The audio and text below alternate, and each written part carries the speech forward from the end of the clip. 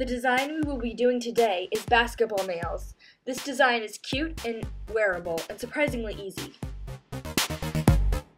Start with your favorite base coat, painting over all your nails.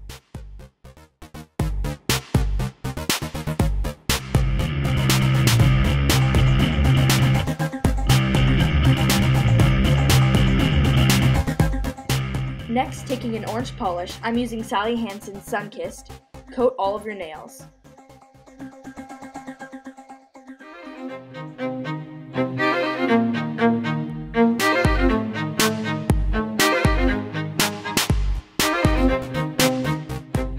Do a second coat to make the color more opaque.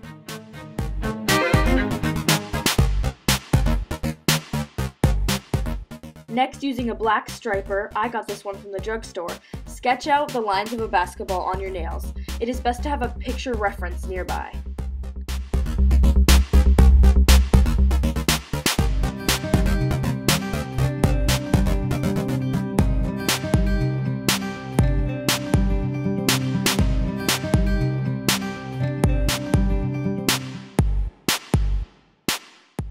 Isn't this so cute? After your nail design has dried, take your favorite top coat and paint over all of your nails.